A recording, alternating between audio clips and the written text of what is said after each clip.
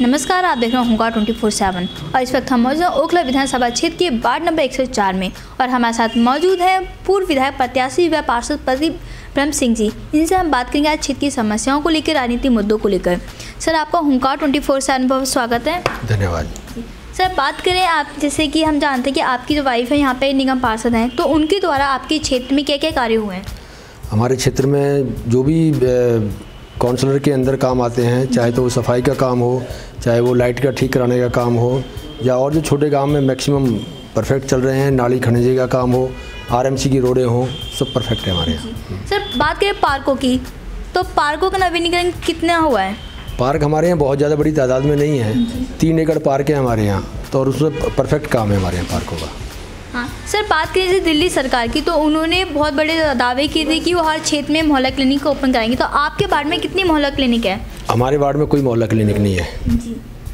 Sir बात करें यहाँ की विधायक की तो उनके द्वारा आपके क्षेत्र में क्या क्या कार्य हुए हैं? हमारे क्षेत्र में विधायक का कोई काम नहीं हुआ। और कई जगह पर ऐसा हुआ है कि पिछली जो योजनाएँ थी वो बिजली पानी की लाइन डालने वाली अगर वो लाइन डल भी गई है पिछली योजना की आज तक रोड सारे कटे पड़े हैं रोड तक भी ठीक नहीं किया उन्होंने। आपके वार्ड में स्ट्रीट लाइटों का क्या हाल है? स्ट्रीट लाइट बिल्कुल ओके है हमारे यहाँ। सर साफ़ सफ़ाई को लेकर बात करें तो आपकी द्वारा क्षेत्र में कूड़े की गाड़ियाँ का क्या वो हाल है? हमारे यहाँ कूड़े की गाड़ियाँ परफेक्ट हैं। जितनी हमें रिक्वायरमेंट है उतनी गाड़ियाँ हमारे पास आती हैं। सिल्ट की अलग आती है और कूड़ा उठाने वाली अलग गाड़ियाँ आती हैं। हमारे यहाँ परफेक्ट है एकदम बहुत अच्छा। सर प्रधानमंत्री नरेंद्र मोदी जी का एक नारा है स्वच्छ भारत अभियान।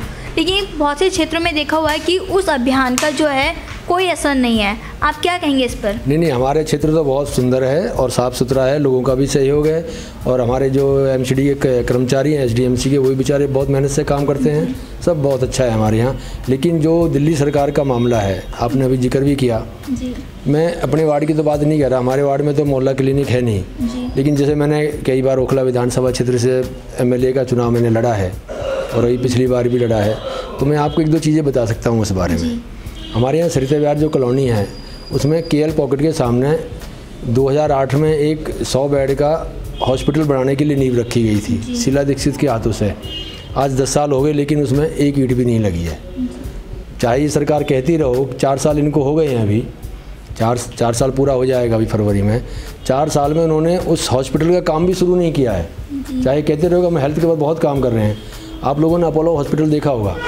अपोलो हॉस्पिटल के गेट के पास एक मुफ़्त औषधि केंद्र बना हुआ है। जी। जब निकले तो आप देखना वहाँ पर। वो केवल ब्लैक मेलिंग के लिए इन्होंने खोला है। दवाई बांटने वाला जो औषधि केंद्र फ्री में वहाँ खुला हुआ है वो वो केवल ब्लैक मेलिंग के हैं कि अपोलो वालों को ब्लैक मेल करो और वहाँ पर एक दिन भी दवाइयाँ नहीं बटी हैं। वो सबूत है, आप जाकर देख सकते हो। और हॉस्पिटल भी इसीलिए यहाँ पर नहीं बन रहा है, क्योंकि इनकी ये सेटिंग है अपोलो के साथ, कि अगर यहाँ सौ बिस्तर का हॉस्पिटल बन जाएगा तो गरीबों का इलाज उसमें होने लगेगा। फिर यहाँ उनकी हॉस्पिटल में कौन लोग जाएँगे? तो ये नीयत है दिल्ली सरकार की।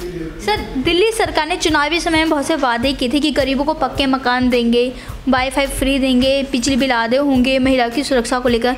आपको क्या लगता है कि उन्होंने जो वादे किए तो वो उन पर खरे उतरे हैं? मुझे लगता है कि रत्ती भर भी वो खड़े नहीं उतरे हैं। वाईफाई का तो मामला ही नहीं है उन्होंने नाम भी छोड़ दिया है। और महिला सुरक्षा का जो मामला है कहीं पर भी कोई ऐसे सीसीटीवी हमारे क्षेत्र में एक भी नहीं लगा है कि भाई सीसीटीवी कहीं पर लगवाए हों। पक्के मकान देने वाली जो बात है एक भी पक्का मकान इन्होंने नहीं बनाया है। सब बे, बेकार की बातें हैं। कहीं पर कोई कुछ काम इन्होंने नहीं किया है यहाँ पर। बल्कि अगर मैं दूसरी बात करूँ तो इनका इनका जो असली जो चेहरा है वो चेहरा इनके सामने है। हमारे वार्ड में एक एक ईंट तक भी इन्होंने नहीं लगाई है। और एक बहुत बड़ी समस्या हमारे यहाँ पर एक आगरा कैनाल पर पुल की है। जी। वो पुल बिल्कुल टूटने वाली हालत में है। किसी भी दिन वो टूट सकता है। सर जिस पुल की आप बात कर रहे हैं जिसकी शायद वो लोहिया पुल है जिसके आप पुल नहीं है वो। वो हमारे गाँव का पुल है मदनपुर खादर का पुल है वो। वो अंग्रेज़ों के टाइम का बनाया हुआ है और उसकी मियाद ख़त्म हो चुकी है। किसी भी दिन वो टूट जाएगा।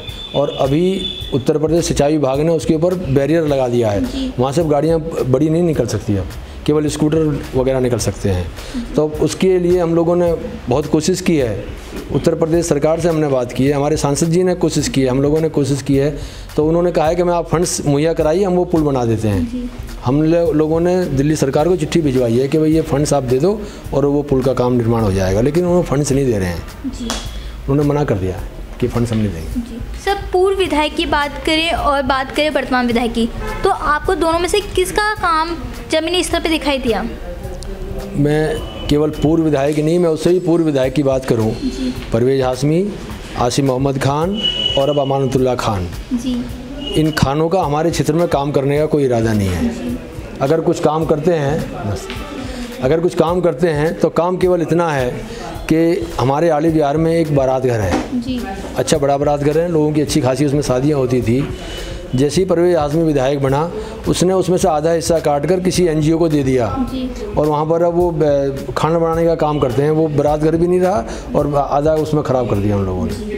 तो इनका हमारी तरह इस तरह ये काम करने का काम है इनका। सर आने वाले समय में और आपके द्वारा क्या क्या कार्य होंगे आपके क्षेत्र में आपके वार्ड में? हमारे यहाँ जो बड़ी समस्या है वो पुल की समस्या है उसके लिए अगर हमें आंदोलन की ज़रूरत पड़ेगी हम आंदोलन करेंगे। वैसे हम कोशिश कर रहे हैं कि सेंटर से कुछ सहायता हमारे को मिल जाए। और एक हमें आली विहार प्रियंका कैम्प के लिए एक रोड की आवश्यकता है मथुरा रोड से और उनको हमें मिलाना है। उसकी भी हमने परमिशन करा दिया यूपी सरकार से। लेकिन उसमें भी पैसे की दिक्कत आ रही है फंड से दे नहीं रही है दिल्ली सरकार। वो भी हमने पास करा दिया है। सर आपका बहुत काम करेंगे हम लोग। सर आपका बहुत बहुत धन्यवाद। आपने हुंकार ट्वेंटी फोर अपना कीमती टाइम दिया। धन्यवाद। जैसा कि आपने देखा कि हमने ब्रह्म सिंह जी से क्षेत्र की समस्याओं को लेकर बात की तो उनका यही कहना है कि उनके द्वारा क्षेत्र में बखूबी रूप से कार्य हुए हैं और उनके बाढ़ एकदम परफेक्ट है साफ़ सफ़ाई को लेकर भी। बात करें यहाँ की विधायक की तो उनके विधायक को यहाँ की समस्याओं से कुछ लेना देना नहीं है। वो सिर्फ़ नाम के विधायक बन के बैठे हुए हैं। क्षेत्र में जो भी समस्याएँ होती है, अगर जनता अपनी समस्या लेकर उनके पास जाती है तो वो उनको सुनवाई भी नहीं करते हैं। फ़िलहाल आप बने रहे उनका ट्वेंटी फोर सेवन के साथ। मैं रेनू चौहान, कैमरामैन सोनू यादव के साथ। ओखला विधानसभा क्षेत्र धन्यवाद।